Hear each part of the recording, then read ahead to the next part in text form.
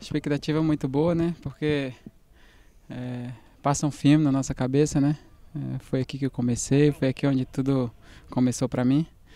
E você poder voltar num clube que te abriu as portas, que te apoiou, né?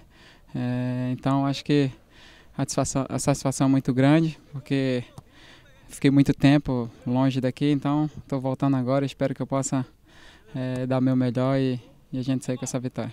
Espero que eles possam nos apoiar, é, é, o time precisa do apoio da torcida, né? E que eles possam vir em massa e nos apoiar da melhor forma possível, que a gente vai dar a resposta aqui dentro de campo. E como a gente fala, né? Gente que joga sempre fala que se não tiver aquele friozinho na barriga, então é melhor parar, né? Então, graças a Deus, eu ainda estou sentindo isso, estou sentindo essa, essa ansiedade, né?